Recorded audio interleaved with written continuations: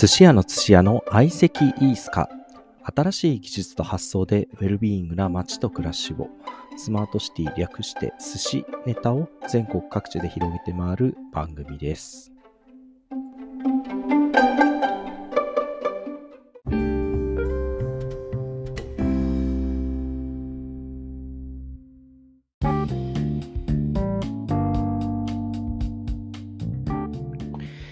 はい、皆さんこんにちは。おはこんばんちは。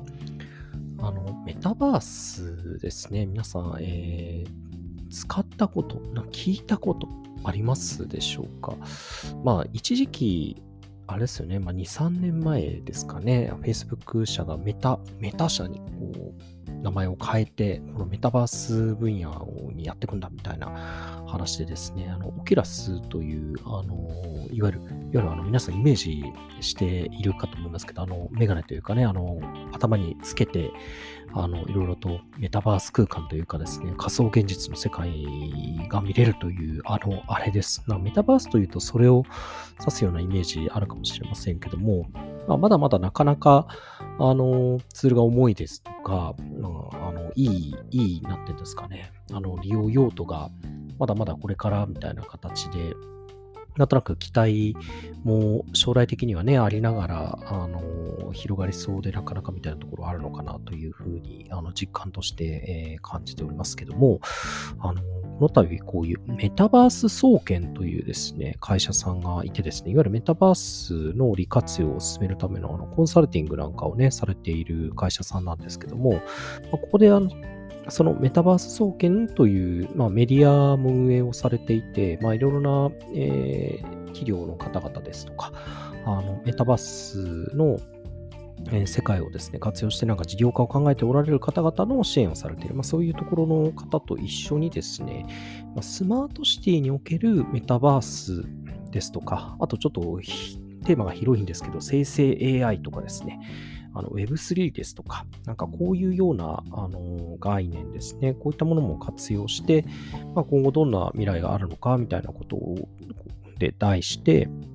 あのウェビナーを、えーやるということになりました。はい。えっ、と、まあ、このメタバース総研さんもね、本当にいろんな企業の方々をね、支援されているという中で、こういうスマートシティの中でメタバースの活用事例みたいなことをね、知りたいみたいな、あの、ニーズというかあるらしいんですよね。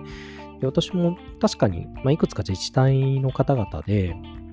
こういうメタバースをね、使ってなんかできないかみたいな風な話をされている方とか、まあ、実際あのメタバースのあのグラスを使ってね、この遠く離れた方々と会議なんかをしてみたいな、こうそういうことをやられたような方なんかもいたりとかいうことも、まあ、断片的にね、ちらほら聞いたりもします。またこの Web3 みたいなもの、Web3 をね、どういうふうに捉えるかっていうのもいろいろ、まあ、あるはありますけども、こういう、えー、なんて言うんでしょう、NFT というんですかね、DAO っていうようなキーワードあったりとか、まあ、いろんなキーワードね、ある中で、まあ、こういう技術的なものをどういうふうに、こう、街づくりとかそういった部分に、うん、活かせるかみたいなこと、本当に試行錯誤で、あまだまだいろんなことをね、試してやってるみたいなところがな多いかなと思います。で、まあ、今回、ちょっとこういうメタバース総研さんとですね、お話をするような機会ができましたので、ちょっとこの中で、あの実際にこのスマートシティといいますか、まあ、要は自治体とか地域ですとか、そういったところで、まあ、どんな取り組みがされているのかなというのを一度ちょっと調べてみたいなというふうに思います。で、この、えーウェビナーなんですけど、4月の24日水曜日の15時から16時ですね、無料でオンライン配信ということで、えーやる予定でございます。まあ、平日昼間なのでね、こう、なかなか聞き、聞けるかな、どうかなという感じはありますけども、ちょっとぜひ、あの、メタバース関係、は非常にお詳しい方だなというふうに、えー思う、感じましたので、ちょっと私もそこでいろいろ持って聞いてみたいなというふうに思います。はい。ということでですね、まあ、メタバースね、も、う仮想現実的なことはね、もう本当、あの、何度か、こう、出ては消え、出ては消えするんですけども、やっぱり定期的に少しずつ、こう、あの、成果がね、上がってきてるというか、あの、デバイスもね、いいもの出てきてたりするので、あるところでね、突然こう爆発的にこの、すごいものがね、出たりとかするんじゃないかなっていうのを、なんとなく思ってるんですよね。なので、まあ、あの、まあ、なかなか使えないよみたいな風に、まあ、あの、思わずにですね、こうどういう風にしたらこれで、あの、便利に、